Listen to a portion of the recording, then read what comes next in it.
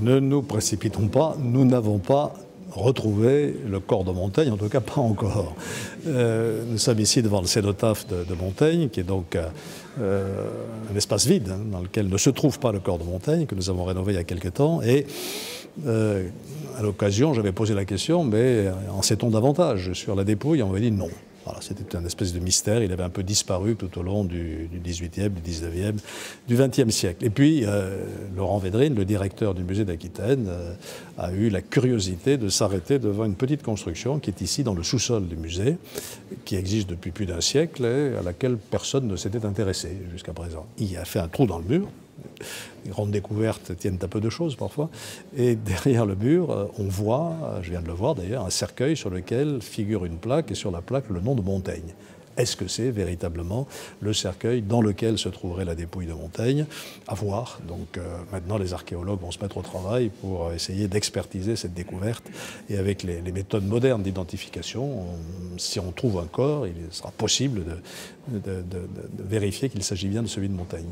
Le musée euh, gardait une tradition euh, orale euh, qui disait que donc il y avait le, corps, la dépouille de Michel Montaigne qui était dans les sous-sols. On a, à partir de cette première, de ces premières observations, on s'est dit un, soyons prudents. S'agit-il bien hein, de, Michel de Montaigne parce qu'il va y avoir des vérifications hein, qui devront être faites. Et on a euh, très rapidement aussi corrélé ça avec des recherches en archives qui nous ont permis, en fait, mais vraiment tout récemment, c'est-à-dire la semaine dernière, euh, de pouvoir confirmer ou infirmer un certain nombre d'hypothèses.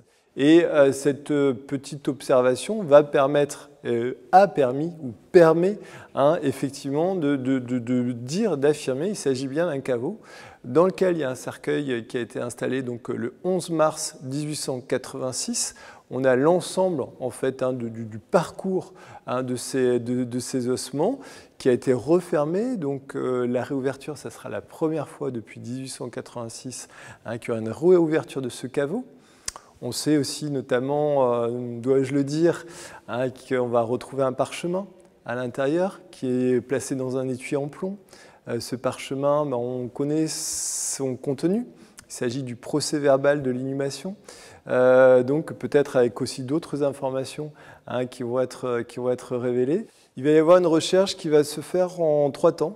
Tout d'abord, on va s'entourer ben, des spécialistes en histoire, en archéologie, en anthropologie qui pourront nous accompagner.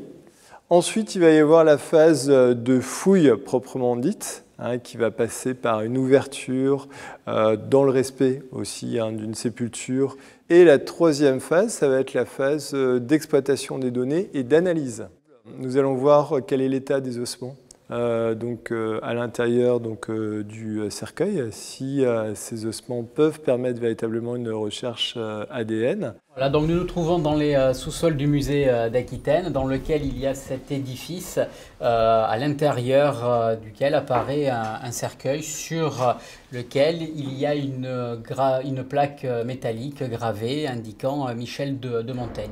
C'est un édifice qui, qui était connu, mais dans lequel il n'y avait absolument pas de certitude quant à son contenu. Et nous savons que le corps de Michel de Montaigne a connu énormément de vicissitudes avec un certain nombre de transferts, notamment depuis euh, la Révolution euh, française, euh, alors qu'à l'origine, il avait été intégré, donc enterré, inhumé dans le couvent des, des Feuillants en 1593, vraisemblablement par raison et par, choix politique. Donc nous avions des, des, pistes de comme quoi Michel de Montaigne était présent dans, le, dans, le, dans le musée, et puisque le musée se trouve sur l'ancien emplacement du couvent des, des Feuillants, et aujourd'hui, nous avons cette fois-ci une piste vraiment plus sérieuse qui va faire l'office d'un certain nombre de recherches, de recherches archéologiques, historiques, anthropologiques, pour avoir la certitude eh bien, que le cercueil découvert est bien celui de Michel de Montaigne et que cet édicule est bien le tombeau de Michel de Montaigne.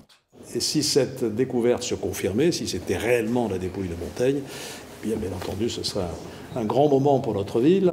Et nous organiserions, n'en pas douter, une, grande manifestation euh, pour euh, l'installation de ce cercueil. Je suis de ceux qui pensent que le message de Montaigne est d'une brûlante actualité dans un monde où on ne parle que de colère, Je cite souvent cette phrase parmi beaucoup d'autres, il y en a d'autres ici.